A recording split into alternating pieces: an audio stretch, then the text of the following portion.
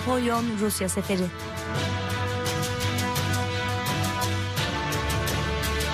Berezina.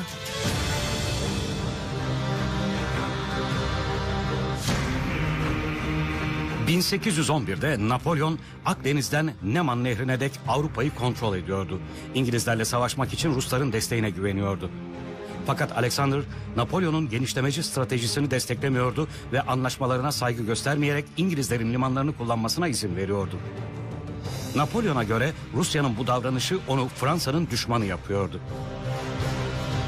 En yakın düşmanlarından biri olan Caulaincourt onu bir zorlu sefere daha çıkması için ikna etmeye çalıştı. Fakat Napolyon onu dinlemiyordu. Haziran 1812'de büyük ordu Neman Nehri'ni geçti ve Rus bölgesine girerek savaş ilan etmiş oldu. Napolyon hızlı bir sefer planlıyordu. Alexander çatışmadan kaçınmayı tercih etti ve büyük ordunun topraklarını işgal etmesine izin verdi. General Kutuzov Rus ordusunun başkomutanı olarak atandı. Fransızlar yoğun sıcak altında Moskova'ya yaptıkları yürüyüşe devam etti. Fakat Ruslar Fransızların kaynak bulmasını engellemek için geçtikleri bütün araziye zarar veriyordu. Hastalıklar ve asker kaçakları büyük orduya çok zarar verdi. La Moskova Savaşı da denilen Borodino Savaşı'ndaki zaferine rağmen Napolyon düşmanını yok edememişti. Büyük ordu terk edilmiş Moskova'ya girdi. Şehrin valisi Kont Rostopçin şehri yakıp Fransızlara hiçbir şey bırakmamaya karar vermişti. Eğilin!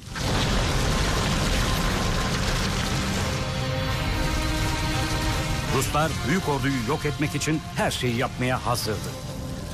Toplar yerlerinde, süvariler de öyle. Laribosar ahırların yanmakta olduğunu söylüyor. Alevler cephaneliğe 400 sıçrayabilir. varil barut var. En ufak bir kıvılcım bile her şeyi havaya uçurabilir. Bir an bile kaybedemeyiz. Kremlin'den ayrılmamız gerek.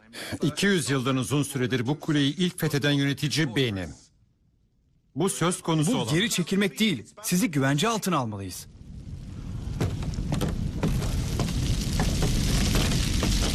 Yangın yayılıyordu ve nerede duracağını tahmin etmek imkansızdı. Fakat Napolyon çarak karşı kararlılığını kanıtlamak istiyordu. Vahşiler. Şehirlerini böylece yakıyorlar. Savaş böyle yapılmaz.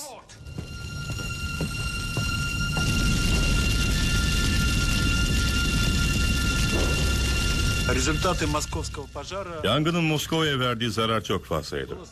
Şehirdeki ahşap yapıların en az yüzde 60'ı yandı.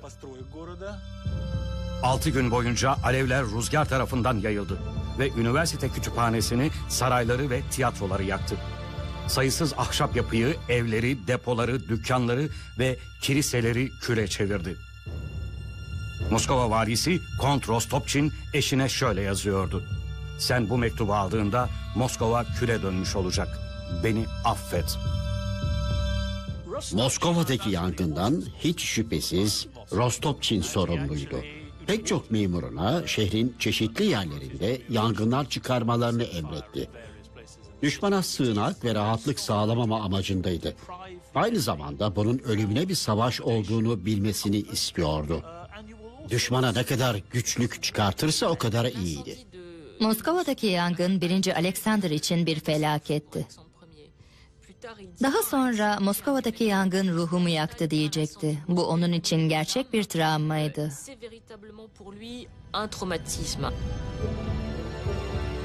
Moskova'yı terk eden Alexander, Rus halkının desteğini kaybetti ve generallerinden şüphe etmeye başladı. Yıkılmış bir halde en sevdiği kız kardeşi Büyük Düşes Ekaterina Pavlovna'ya sığındı. Alexander.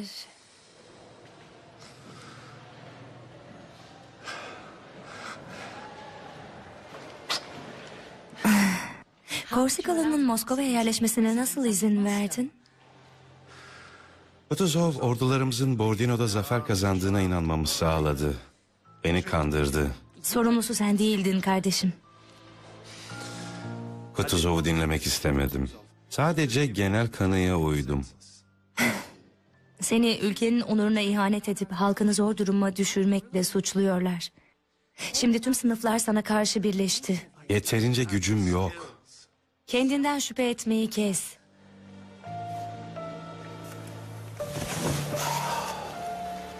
Danışmanlarım kötü tavsiyeler veriyor. Kötü hizmet ediyorlar ve karşımda bütün Avrupa'yı yöneten bir düşman var. İmparatorluğunu bu istilacıya mı bırakacaksın? Benimle evlenmek isteyen, neredeyse elimi tutmasına izin vereceğin o canavara.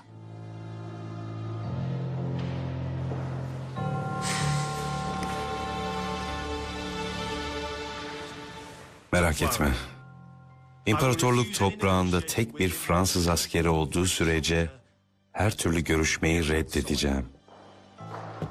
Ve topraklarımı kaybedersem sakal bırakırım. Gidip Sibirya'da patates yerim. Zaten patatesi çok severim.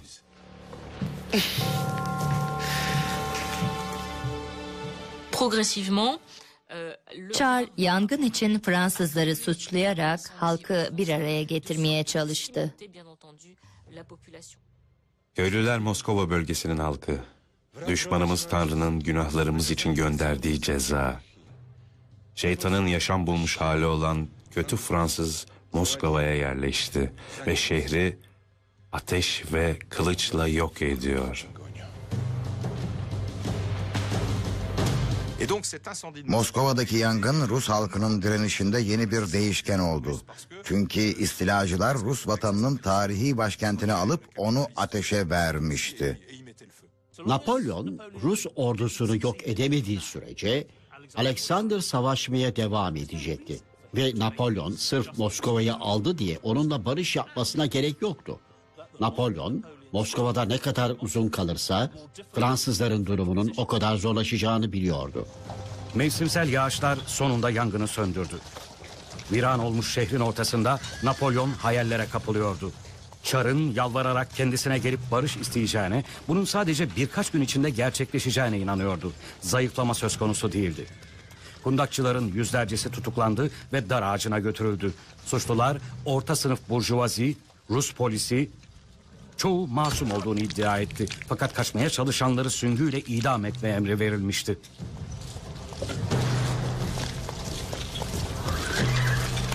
Teğmen Burgonye şöyle hatırlıyor.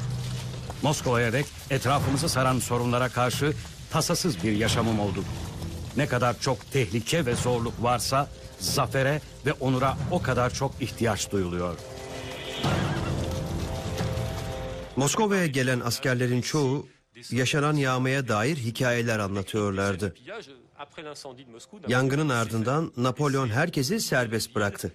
Şehrin yağmalanmasına izin verdi. Askerler çok sayıda antika, mücevher ve resim elde etti. Et, sebze ve içki bulundu.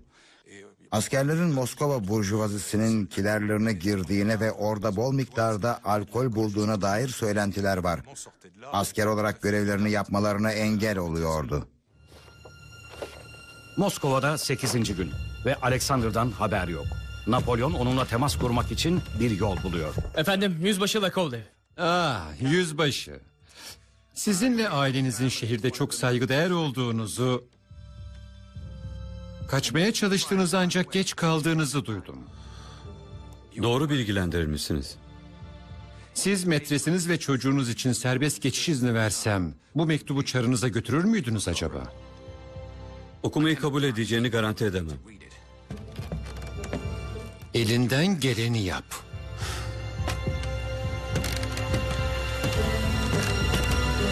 İmparator Çar'ı onurlu bir barışa ikna etmeyi umuyordu.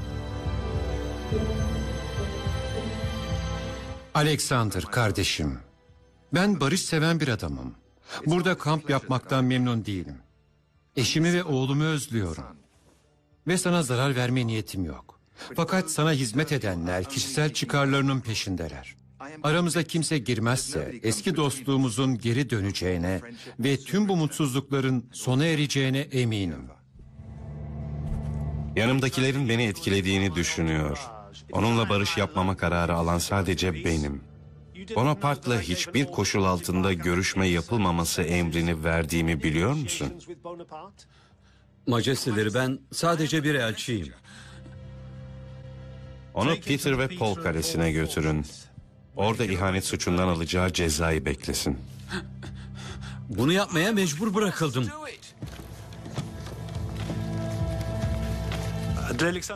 Birinci Alexander için bir barış anlaşması imzalamak intihar olurdu.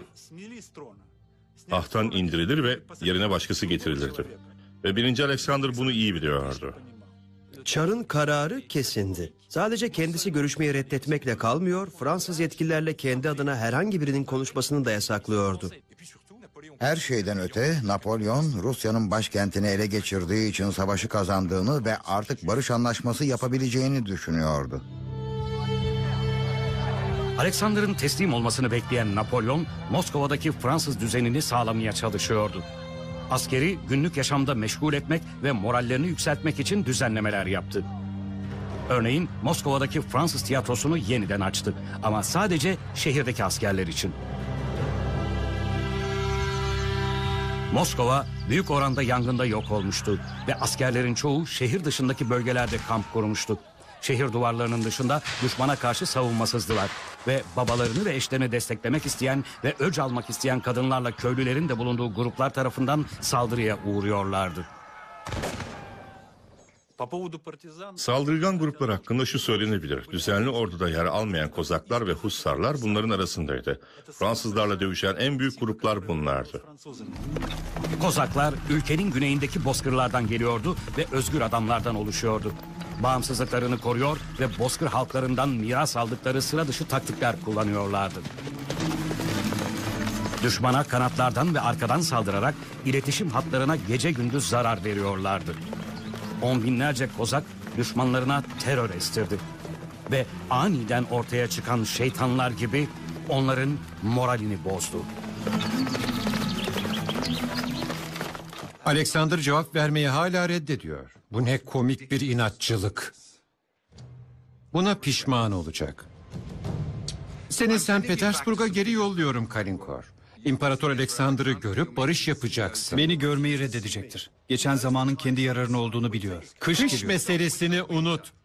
Burada sonbahar Fontainebleau'dan bile daha Buna hafif. güvenmeyin efendim. Kış gelecektir ve içinde bulunduğumuz durumda bizi mahvedecektir. Devam et. Orduya yeniden ekipman dağıtmamız gerekiyor. Koyun derileri, eldivenler, şapkalar, kürklü botlar vermemiz gerekiyor. Kış için bunlara ihtiyaçları var. Dinliyorum. Adamlarınızın çoğu Nema Nehri ve Lamaskova arasında perişan oldu ve inanın bana çok eksiğimiz var. Atların kışlık nallarını hazırlamadık. Nasıl idare edecekler? Peki ya toplar, hastalar ve yaralılar? Hava hala iyiyken bundan faydalanıp Moskova'dan ayrılalım. Moskova'dan ayrılmak yenilgiyi kabul etmek olur. Rusya bu kadar kötü durumdayken Alexander'la görüşmeye isteksiz olmanı anlıyorum. Öyleyse gidip Kutuzov'u gör. O da geri adım atmayacak. O zaman Lariston'u gönderirim. Ve barış yapıp arkadaşın Alexander'ın tacını kurtarma onuru onun olur. Gidebilirsin Kolenko. Rusların teslim olması gibi bir durum söz konusu değildi. Markis Loreston'u General Kutuzov'la görüşmeye gönderen Napolyon hem görüntüyü hem de askerlerini kurtarmak istiyordu. Kendinden önceki Kolenkor gibi Loreston da St. Petersburg'da Fransız elçisi olarak görev yapmıştı. İmparator efendim, Viyana ve Berlin gibi Moskova'yı da korumak istiyordu. Onu ateşe vererek adamlarınız yüzlerce yıllık eserleri yok etti. Merak etmeyin. Birazdan yanınıza geleceğim güzel bayanlar. Biz bu şekilde savaşmayız. Askerlerimiz kundakçı değildir. Ne yazık ki insanlar bunun aksine inanıyor. Ruslar için bu savaş Tatar istilası kadar yıkıcı. Napolyon'u Cengiz Han'la karşılaştıramazsınız. Haklısın. Cengiz Han kiliselerimizi ahıra çevirecek kadar saygısız değildi. Köylüleriniz esirlere karşı büyük bir zalimlik sergiliyor. Onları kazanlarda kaynatıp kazağa geçiriyorlar. Yaptıkları savaş kurallarına aykırı. Düzenli ordumuzda böyle onursuz davranışlar var mı? Hayır ama Ben tüm halkı kontrol edemem. Onların eğitim almaları gerekiyor. bakın bir esir değişimi ayarlayalım. İmparator iki cömert millet arasındaki bu savaşa son vermek istiyor. Bir orta yol bulalım. Bunu yapabiliriz. Orta yol mu? Sonsuza dek adımın lanetlenmesini mi istiyorsun? Bu savaş daha fazla devam edemez. Bir ateşkes yapmalıyız. Hey hey. O kelimeyi kullanmam bile yasak. Par trois fois, euh, Alexander üç kez görüşme yapmayı reddetti ve bu işe yaradı. Savaştan yorulan Napolyon 19 Ekim'de geri çekileceğini ilan etmek zorunda kaldı. Napolyon aptal değildi. Askeri riskleri hesaplayabiliyordu ve kışı Moskova'da geçirirse neler olacağını biliyordu. Tüm atları ölecekti. Aynı zamanda belki de gerçekçi olmayan bir biçimde bir imparator olarak başkenti Paris'ten dört aydır uzak olduğunu, Avrupa'nın diğer ucunda olduğunu düşünerek endişeleniyordu.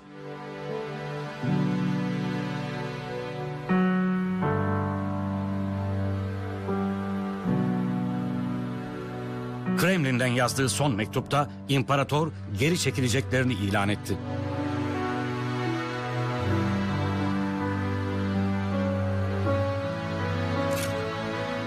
Bu mektup yenik düşmüş bir adama ait görünüyor. Moskova'ya gücünün zirvesinde gelmişti ve zayıflamış bir halde oradan ayrılıyordu.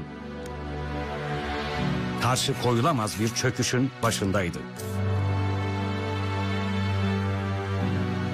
Kimse onun bu kadar duygusal olduğunu görmemişti. İmparatoriçe ve oğluna beslediği sevgiden söz ederken bile.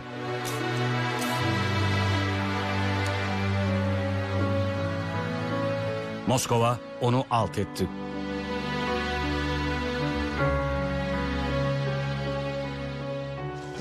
Büyük ordu şehirden ayrılmaya hazırlanıyordu. Teğmen Burgonya şöyle yazıyordu. Aramızda Moskova'nın önemli ailelerinden birine ait olduğu söylenen genç ve çekici biri vardı. Bir çılgınlık anında bizim üst rütbeli subaylarımızdan birine aşık oldu. Ve daha da büyük bir çılgınlık yaparak biz geri çekilirken onu izledi. Ölümcül konvoy. Her türden araçtan oluşan derme çatma bir kervanda beklenmedik bir hazine vardı. Güzel ciltlere sahip kitaplar ve daha kolay taşınması için rulo yapılmış yazmalar. Yaşayacakları zorlukları tahmin ediyor olsalar da herkes kendi payıyla birlikte birkaç kilo şeker, pirinç, ekmek ve içkiyle yaşayacakları kıtlığa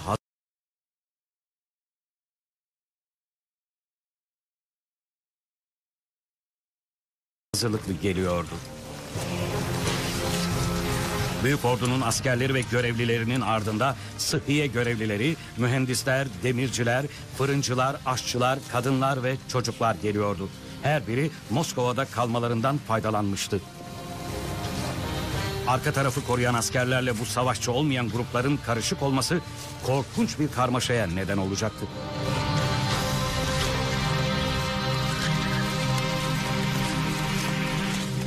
Kutuzov'un stratejisi basitti. İklimin Fransız ordusunu yok etmeye yardımcı olacağına inanıyordu. Düzenli, hafif suvarilerin desteklediği kozakları iyi tanıyordu. Ordunun yolda kalmasını sağlayacak ve Fransızların çevreyi yağmalamasına engel olarak onları aç bırakacaklardı. Kutuzov'un en önemli hamlesi buydu. Moskova'dan ayrıldıktan birkaç gün sonra onları izlemeye başladı. Askerler Borodino savaş alanından geçiyordu. Kimsenin orayı temizleyecek zamanı olmamıştı. Borodino Savaşı'nın kalıntıları. Teğmen Burgonye bu zaferin anlamı neydi diye düşünüyordu. Bu savaş çok sayıda can almaktan başka bir işe yaramamıştı.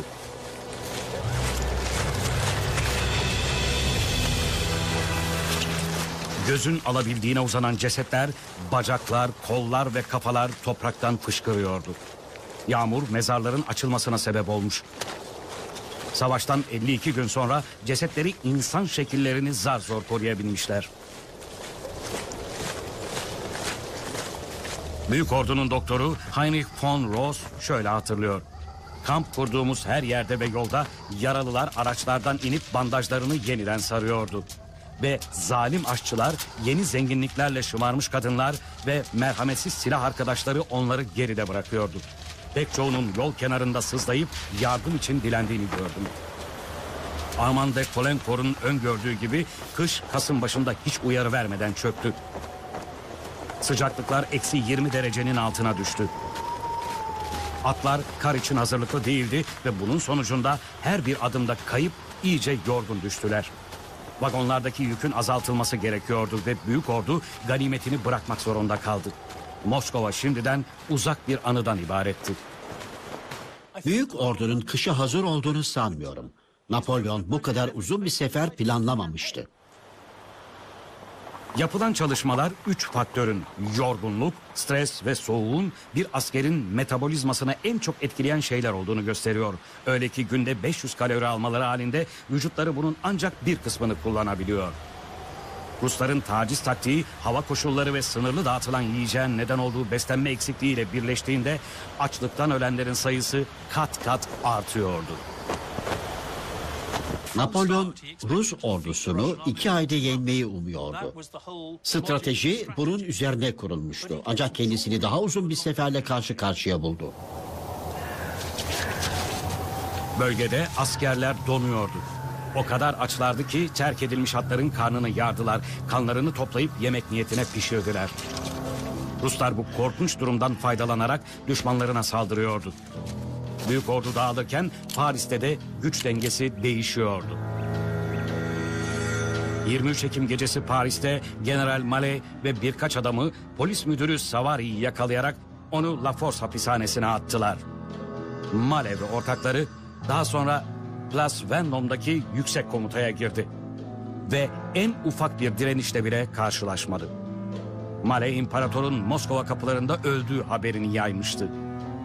Geçici bir hükümet kurmak ve savaşa son vermek istiyordu. İmparatorun Paris'teki popülaritesi sönmekteydi. Napolyon bu darbe girişimini duyduğunda aklında bir tek şey vardı. Bir an önce Paris'e dönmeliyim. İşlerin kontrolden çıkmasına izin veremem. Bu iş birkaç saat sürse bile. Aptalların işlerini devam ettirecek akıllılar her zaman vardır. Fransa'ya ordunuzdan önce dönemezsiniz. Saint-Roh'da ölümümü ilan etmeye hazırlar.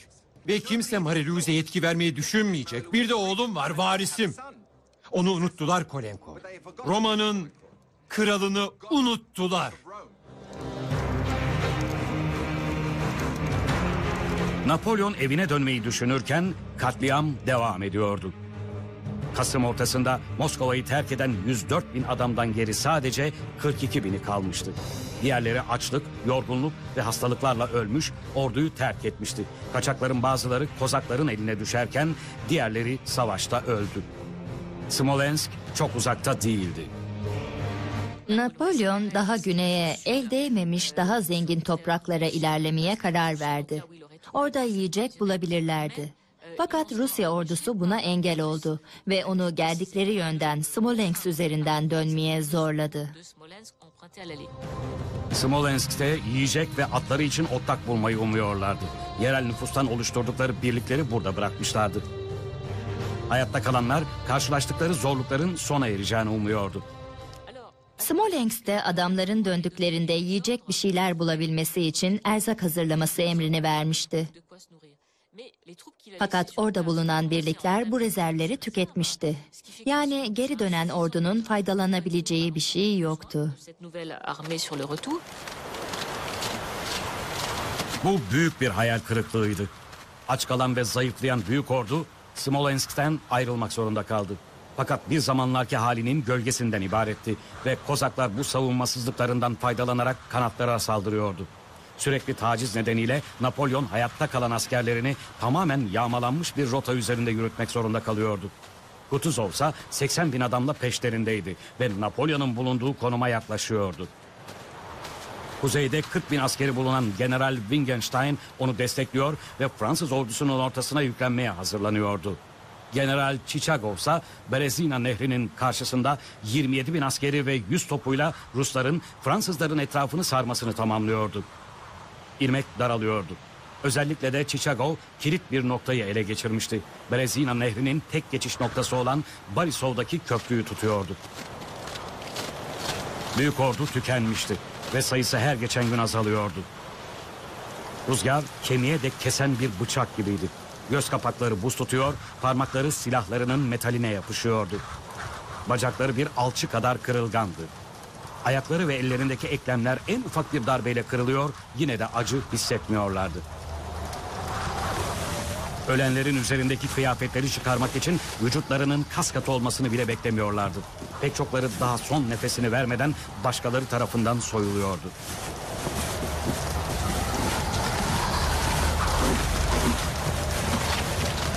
Teğmen Burgonya şöyle hatırlıyor.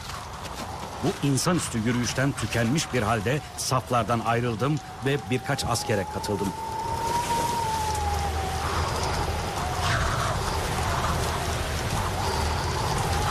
Yiyecek bir tek patatesim kalmıştı. Kendimi hiç affetmeyeceğim bir bencillik anında onu açlıktan ölmekte olan arkadaşlarımla paylaşmadım.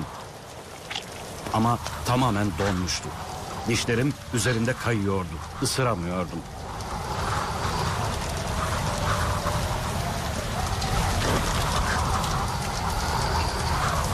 Uyumak için çok büyük bir istek duyuyordum. Ama bunun ölümcül olacağını biliyordum. Yola devam etmeli, yürümeli, uyanık kalmalıydım. Bu yüzden yoluma devam ettim. Burgonya kar fırtınaları ve karanlıktan ötürü yolunu kaybetmişti. Kar ayak izlerini örtüyordu. Şafağa dek yürüdü. Bölüğünü aradı. Artık uzuvlarını hissedemiyordu. Kendini kemirmekte olan fareleri de. Şafak'ta bir konvoyun kalıntılarına ulaştı ve yiyecek bir şeyler bulmayı, onu bu sefil dünyada birkaç saat daha hayatta tutacak bir şeyler edinmeyi umuyordu.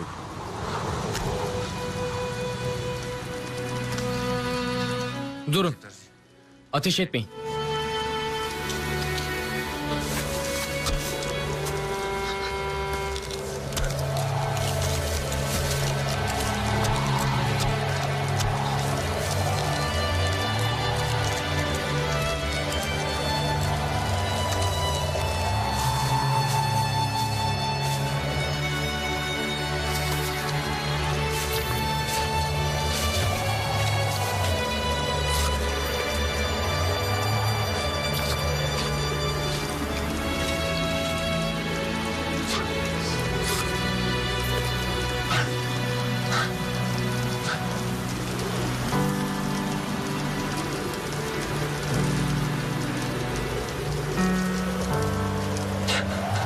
Teğmen Burgonya şöyle hatırlıyor. Bunu anlayabilmeniz için açlığın nasıl bir şey olduğunu bilmeniz gerek. Pişmiş olsa şeytanın kendisini bile yiyebilirdi. Onu tutuklayalım mı? En azından karnı doyar. Nefretle şefkat iç içe geçti. Fakat Rus askerleri de zor durumdaydı.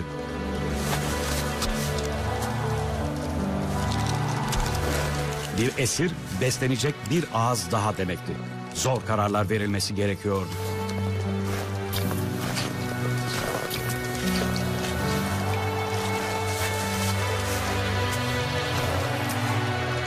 Birlikler ilerledikçe hasta ve halsiz olanları geride bırakıyorlardı ve onlar da derhal esir alınıyordu.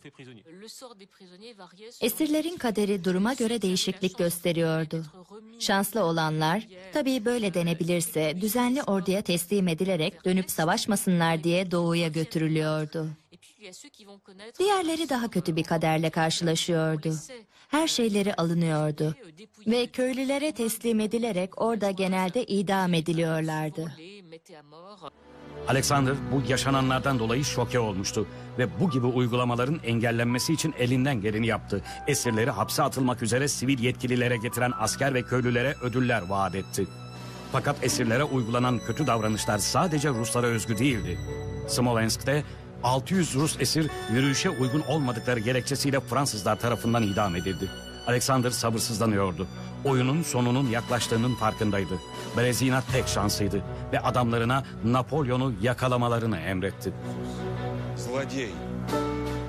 Berezina Savaşı Napolyon'un seferinde çok büyük bir öneme sahipti. Savaş adını Napolyon'un ordusuna engel olan nehirden alıyor. Ve Kutuzov, Berezina'nın bir engel teşkil ederek Napolyon'un etrafını sarıp ordusunu ele geçirmek için yeterli olacağını düşünüyordu. Moskova'dan gelen ordu Berezina nehrine yaklaştı ve bir köprünün bulunduğu Borisov isimli bir yerden geçmeyi düşünüyorlardı. Napolyon'un emirleriyle Mareşal Udino cesur bir hamleyle fazla zorluk yaşamadan Borisov kasabasını ele geçirdi. Fakat Ruslar köprüyü yakmıştı ve büyük ordunun Berezina'dan tek çıkışını yok ederek Kutuzov'un kıskacı alma hamlesini gerçekleştirdiler. bir başka rotaya ihtiyaçları vardı bir an önce. Mareşal Udino'nun diğer kıyıda kaybolan birimlerinden biri koltuk altına kadar ıslanmış bir köylü buldular. Ve yakınlarda bir geçişin olabileceğine karar verdiler. Köylüyü sorguladıklarında onlara Borisov'un 13 kilometre kuzeyindeki Studyanka köyü olduğunu söyledi. Fakat Napolyon Borisov'daki köprünün stratejik önemini anlayan tek kişi değildi. Chichagov batı kıyısını 30 bin adam ve 100 topla savunuyordu. Aynı zamanda Kutuzov 80 bin askeriyle Napolyon'un güçlerinin arkasından gelmekteydi. Ve General Wittgenstein'dan daireyi 30 bin kişilik bir güçle tamamlamasını istedi. Fakat Napolyon bu hamleleri tahmin ediyordu. Udine ve Muton, gizlice birliklerinizle Studyanka'ya gideceksiniz. Gece çöktüğünde orada iki köprü inşa edeceksiniz. Biri toplar ve vagonlar, diğeri piyadeler ve süvariler için. Ama efendim... Bekle Loriston. Aynı zamanda Borisov'un güneyine doğru düşmanın görebileceği bir biçimde köprüyü yeniden kuracağız. Fakat Rusların düşündüğünün aksine onu kullanmayacağız. Çigagov birliklerinin çoğunu buraya yoğunlaştırırken bizim birliklerimiz nehri diğer tarafta geçecek. Studyanka'da. Büyük ordunun bu çaresiz gibi görünen durumu imparatorun sakinliğini azaltmıyordu. Diğer herkes panik halindeydi diye yazıyor Kalenkor. Fakat Napolyon bundan daha iyiydi. Umut onu başımıza gelebilecek en büyük engelden daha çok etkiliyordu. Napolyon bir yanıltmaca kullanmaya karar verdi ve bu çok işe yaradı. Borisov'un Fransızlarca alınmasını emretti ve Rusların nehri orada geçeceğini düşünmesi için Borisov'da hummalı bir inşaat başlattı. Fakat gece vakti gizlice adamlarının ilerlemesini emretti. Eble'nin köprü inşaatçıları Sudyanka'daki iki ünlü köprüyü yapmakla görevlendirildi. chargé de construire les deux fameux ponts à hauteur de, de la Studianka. Borisov 25 Kasım gecesi.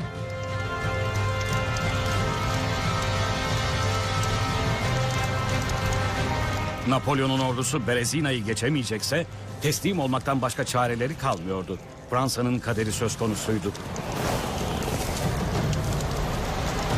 Napolyon birkaç kez nehir kıyısına giderek Rus kampındaki ateşleri gözetledi. Sayıları ve yoğunlukları planın işe yaradığını gösteriyordu. Ruslar ana geçiş noktasının Borisov'da olacağını düşünüyordu. Fakat Studyanka eğitimli bir ordu için birkaç saat mesafedeydi. Yakalanma ve saldırıya uğrama riski çok gerçekti.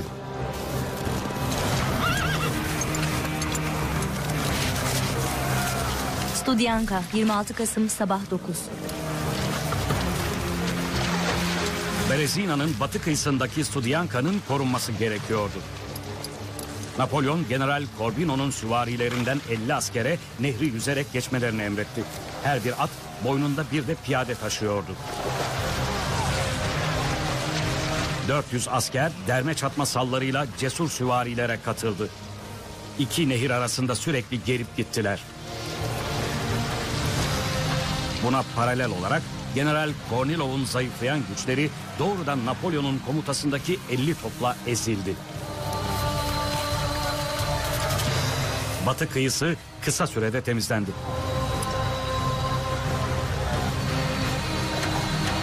İki saat sonra direkleri dikmeye başladılar. General Eble önden gitti ve kendini buzlu suya attı. Studyanka 26 Kasım.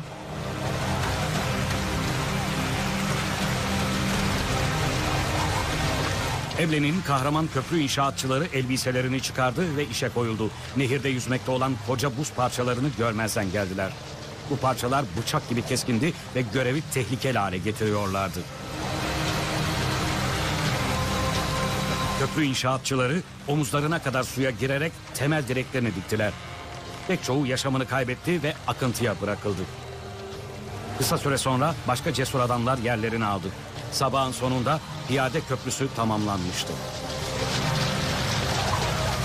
Öğleyin bir de Udino'nun birlikleri yeni inşa edilen köprüyü geçmeye başladılar. Batı kıyısındaki konumlarını güçlendirmek için alelacele yapılmış köprüyü hızla aştılar. Akşam üzeri dörtte ikinci köprüde ilkinin yanında tamamlandı. Akşama kadar 10 bin asker köprüyü geçmiş ve nehrin batı kıyısına ulaşmıştı. Gece çöktü.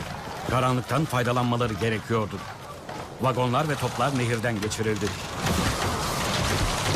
Köprü sallanıyordu ve üç kez ağırlığı taşıyamayarak çöktü. Sadık köprü inşaatçıları suya atlayarak kırılan yerleri tamir etti ya da yeniledi. Bu zamana karşı bir yarıştı ve 3 saatten kısa sürede eksi 30 derecede köprüyü tamir ettiler.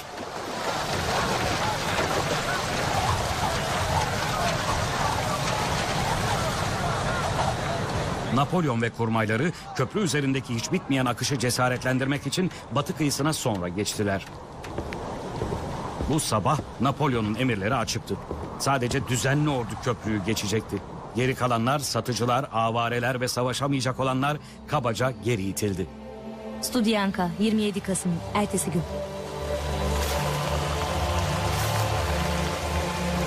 Birkaç günlük zorunlu yürüyüşün ardından Teğmen Burgonye sonunda arkadaşlarına yetişti. Önceki günden beri köprüyü geçmek üzere bekleyen savaşamayacak durumda olanlara ve avarelere katıldı. Bir tanık şöyle yazıyordu. Barbarlıkla savaşıp medeniyeti getirmek üzere Rusya'ya girenler artık bir kalıntı, zavallı hayaletlerden başka bir şey değildi. 27 Kasım gecesi inanılmaz bir şey oldu. Köprüyü geçişe engel olan neredeyse kimse yoktu. Karşıya geçiş açıktı.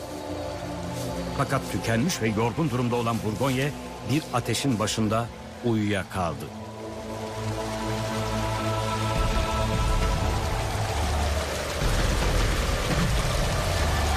Şafakta top atışlarıyla uyandı.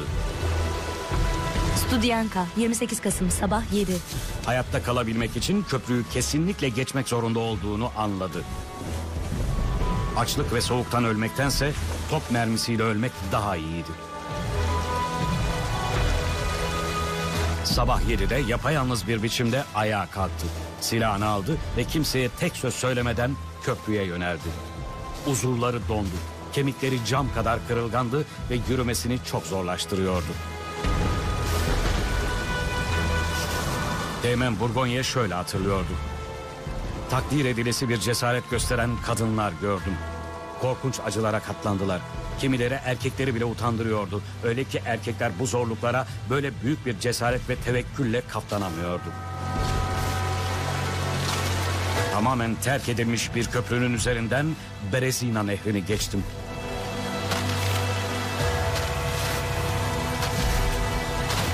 Köprünün diğer tarafına ulaştığımda sağ tarafında büyük bir kulübe gördüm. Orası imparatorun uyuduğu yerdi ve hala oradaydı.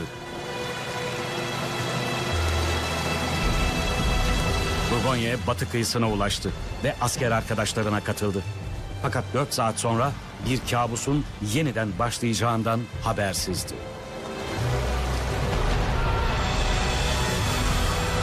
Nehrin aynı tarafında General Çiçagov ve 27 bin adamı Udino'nun askerlerinin üzerine çullanmaktaydı. Korkunç bir savaş oldu. Udino ne pahasına olursa olsun batı kıyısının kontrolünü elinde tutmalıydı. Orası çok önemli bir geçiş noktasıydı. Aynı sırada doğu kıyısında General Wittgenstein 8 bin askeriyle Mareşal Victor'un Studyanka yakınlarında geride kalan askerlerine saldırdı.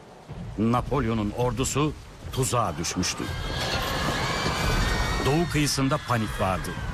Savaş ve top ateşlerinin ortasında binlerce başıboş ve savaşacak durumda olmayan adam iki gündür geçmeyi bekledikleri köprülere akın ettiler.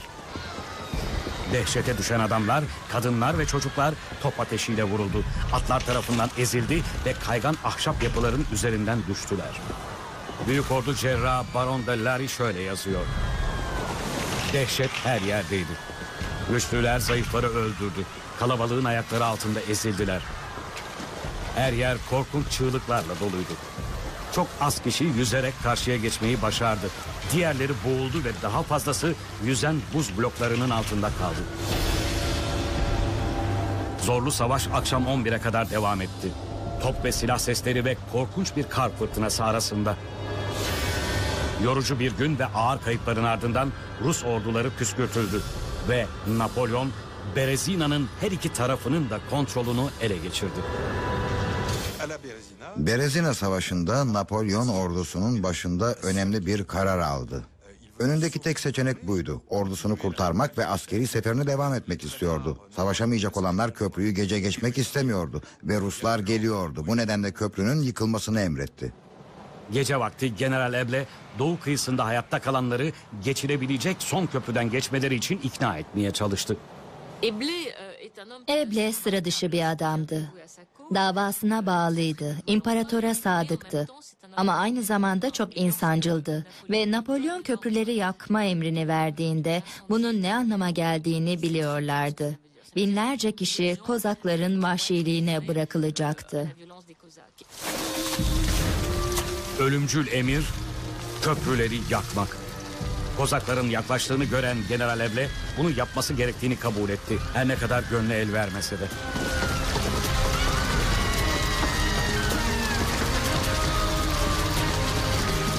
İlk alevlerle birlikte çıldırmış kalabalık köprüyü geçmeye kalkıştı. Geride bırakılanlar her yerde koşturuyordu.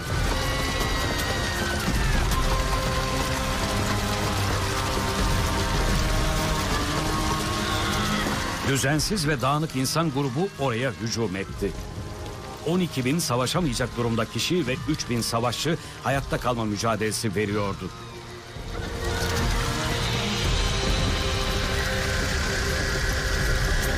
Diğer kıyıda onları izleyenler için bu dehşet verici bir manzaraydı. Herkes kendi başının çaresine bakıyordu.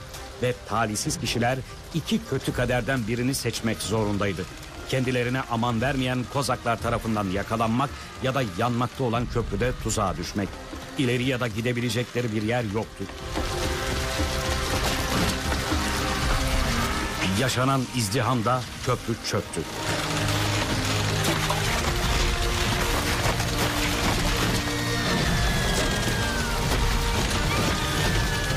Erkekler, kadınlar ve çocuklar alevler tarafından yutuldu ya da buz gibi sularda boğuldu. Ölü sayısı çok fazlaydı. Kutuzov, Berezina'daki şansını yitirmişti. Napolyon'un 7 bin askeri ve 2 bin subayı, imparatorluk muhafızları, komutanları ve yüksek komutası kendilerinden çok daha kalabalık olan Rus ordularından kurtulmayı başarmıştı. Он Napolyon hiç savaş kaybetmedi ancak tüm seferi kaybetti. 600 binden fazla kişi Rusya'da öldü ya da esir alındı. Seferin sonucu buydu. Ruslar için Berezina Savaşı bir başarısızlıktı.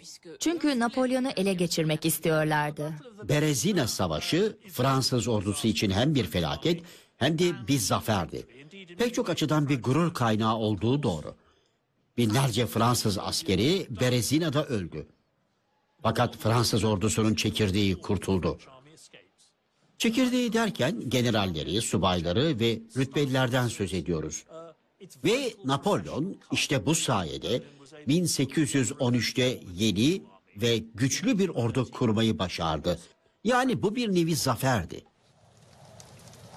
5 Aralık'ta geri çekilmenin 48. gününde Napolyon artık başkentte neler olduğunu bilememeye dayanamayarak Paris'e dönme kararı aldı. Kolenkor'a kendisiyle gelmesini emretti. 10 gün 10 gecede Almanya'ya ulaştılar. Varşova Dükalığını geçmelerinin ardından Almanya'da durakladılar. Kimliklerinin bilinmediğini umuyorlardı. Paris'e döner dönmez insanlarımızı yatıştırıp savaşın sebeplerini açıklayacağım. Kolenkor,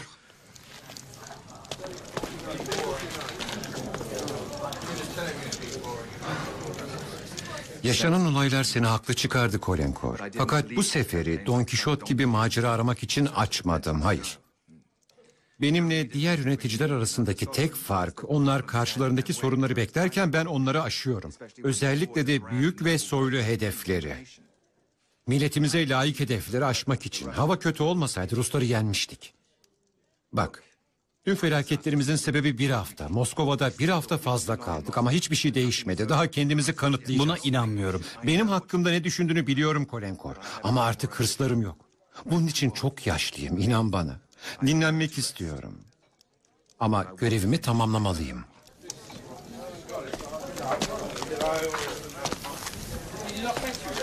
Hancı. Evet. İki saattir buradayız. İstediğimiz atlar nerede? Çok gecikmezler efendim. Bu bölgede hiç at bulunmadığına ve hazırlamanın bu kadar uzun süreceğine inanmakta zorlanıyorum. Zor zamanlar yaşıyoruz efendim. Bu Napolyon'un suçu. Bu sabah kaçaklar iki atımızı daha çaldılar. Hancı'nın kendilerini kasten oyaladığına inanan Kolenkor bir pusudan korkuyordu. Atların olduğunu biliyorum. Onları nerede saklıyorsun? Bana hemen söyle. Bayım. Beş dakika içinde hazır olmazlarsa kılıcımı sana saplayacağım ona göre. Hemen ilgileniyorum.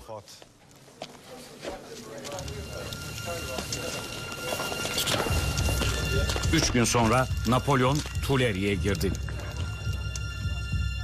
Bu sırada büyük ordu karlı, bataklık ve buzlu ormanlardaki zorlu yürüyüşüne devam ediyor. Kozaklar ve Kutuzov'un birlikleri tarafından tacize uğruyordu. Fransız halkının 1812'den sonra yaşananlar hakkında Napolyon'dan şüphesi yoktu. Napolyon'dan 1814'e kadar şüphe etmediler. Bunun nedenlerinden biri Napolyon'un çok popüler olmasıydı. O çok popüler biriydi ve dahası insanlar ona güveniyordu. O ne de olsa 12 yıl boyunca girdiği her savaşı kazanmış biriydi ve insanlar Rusya'da kış yüzünden zafer elde edemediğini düşünüyordu. Sorun sadece kış olmasa da imparatorun her şeyi düzelteceğine inanıyorlardı. Rusya seferi 1. İmparatorluğunun çöküşünün başlangıcı oldu. İki sene sonra İngilizler Waterloo Savaşı'nı kazandı ve Fransa 1790 öncesindeki sınırlarına çekildi.